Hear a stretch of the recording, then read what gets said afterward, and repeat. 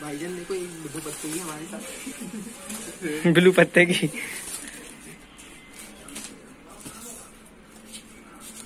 यार मेरे को हिसाब से मैं पार्किंग निकल रहा अच्छी। अब अपने राज्य में अच्छी भेजेंगे हेलो एवरीवन अभी आप जो स्क्रीन पे कलेक्शन देख रहे हैं ये पतंग मोस्टली आपको अद्दी साइज़ और मंजोली साइज़ की पतंग है। वीडियो स्क्रीन में जो आप क्वालिटी देख रहे हैं काइट की इसका प्राइस है साढ़े छः रुपये देख सकते हैं आप, मंजोली आपको साढ़े छः रुपये में आसानी से मिल जाएगी और आप अगर सौ पतंग लेते हैं अद्दी तो वो भी आपको छः सौ पचास की मिल जाएगी, यानी आपको हंड्रेड काइट मिलेगी सिक्स हंड्रेड फिफ्टी रुपीज़ की ओनली। आप देखते हैं क्वालिटी काफ़ी अच्छी है पतंगों की। अभी आप जो काइट कलेक्शन देख रहे हैं, ये नॉर्मली यहीं आसपास का कोई ना कोई पार्सल है तो सब पतंग कलेक्ट करके उनको अलग अलग जगह का अलग अलग पार्सल है। तो अभी ये पैक होने के लिए पतंग आई है, जिसमें अभी ये काउंट हो रही है पतंग। है जिसमें आप साइज़ दे सकते हैं, इसमें आप ये अद्दी साइज़ की पतंग है और आप देख सकते हैं ये मंजोली साइज़ की है। इसमें आपको अभी एक क्वालिटी और दिखा देता हूँ। ये देख सकते हैं आप।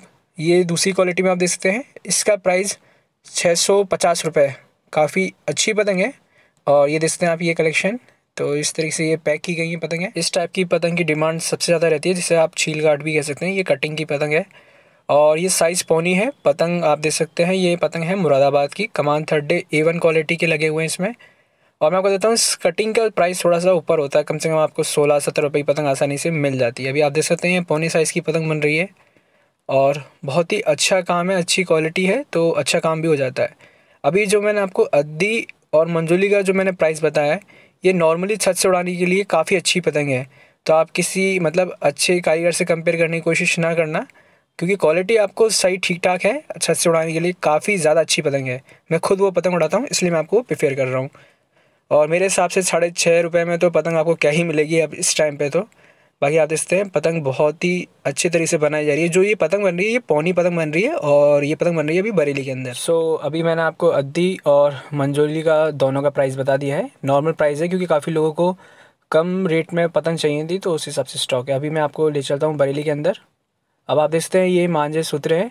काफ़ी अच्छी मतलब काफ़ी अच्छी मेहनत हो जाती है, इतना दूर आना जाना। तो अभी देख सकते हैं, जैसे कि स्टॉक जमा कर रहे हैं और अभी ये प्रोसेस चल रहा है ब्लैक ड्रैगन और रेड ड्रैगन तो मैं आपको कुछ केमिकल बता देता हूँ, जो इसमें अलग से इंक्लूड किए जाते हैं। कुछ स्पेशल केमिकल हैं, जिसकी वजह से जो शौकीन है, जो अच्छे उड़ाने वाले हैं, इनको ब्लैक ड्रैगन और रेड ड्रैगन जो मांझा उसकी डिमांड किस लिए है? तो आप देख सकते हैं, कुछ बहुत से ऐसे केमिकल हैं, जो इसमें अलग से मिलाए जाते हैं। तभी ये केमिकल मिला रहे हैं इसके अंदर, देखिए। इसलिए महँगे से महँगे मांझे को भी आप इससे कंपेयर कर सकते हैं। काफ़ी अच्छी डोर है और काफ़ी अच्छा रिज़ल्ट भी है। और आप इसको काफ़ी टाइम तक रुक के भी लड़ा सकते हैं, एक साल, दो साल, तीन साल, जितना भी आपकी मर्ज़ी है। बट डिपेंड करता है वो कौन सी डोरा कांटेदार लेंगे तो वो उस हिसाब से वर्क करता है। ये देखिए आप इस तरीके से मांझे को मिलाया जा रहा है, और दो मिनट में मिल गया, देखिए आप।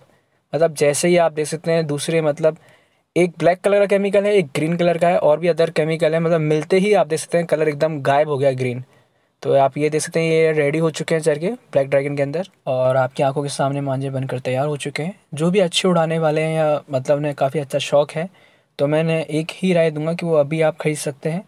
बाकी मैं आपको बताता हूँ, देखो सीज़न में काफ़ी चीज़ें पॉसिबल नहीं हो पाती हैं। जो इन्हें क्वालिटी चाहिए, वो क्वालिटी कभी कभी नहीं मिल पाती है। अभी क्वालिटी आपको आसानी से मिल जाएगी, आप आसानी से देख सकते हैं और आसानी से समझ सकते हैं। क्योंकि लास्ट टाइम पे क्वालिटी आपको अच्छी मिलना थोड़ी सी मुश्किल हो जाती है। Thank you so much